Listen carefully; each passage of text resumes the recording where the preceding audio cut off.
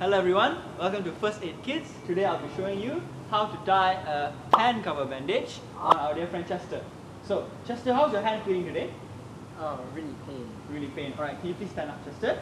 Alright. Can you place, it's your left hand, right? Yeah. Please place your left hand on the table like this in 90 degrees position.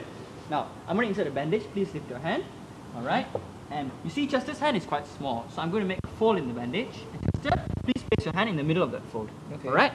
Now, this is the apex of the bandage. I'm going to pull it up and put it over Chester's forearm. Chester, please put your finger there and hold it in position. Next, the two flaps, please cross them over. Go around. Chester, is it tight, Chester? Uh, yes. right?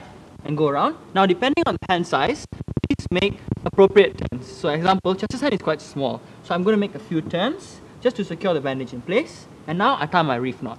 As you can see, left over right, right over left.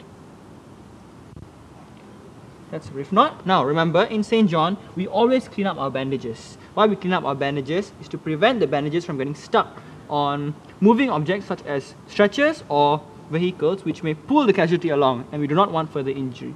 So now we clean up our bandages and that is done. Chester, please lift your hand and show them.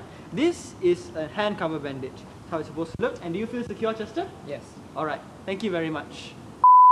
Hey guys, so in this video we actually didn't show it, but you can actually use the exact same bandaging with your foot. So instead of putting your hand at a 90 degree angle like that, you can put your foot instead, which is naturally at a 90 degree angle.